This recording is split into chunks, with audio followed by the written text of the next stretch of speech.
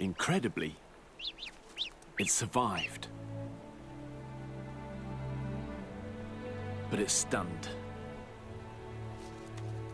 And now dangerously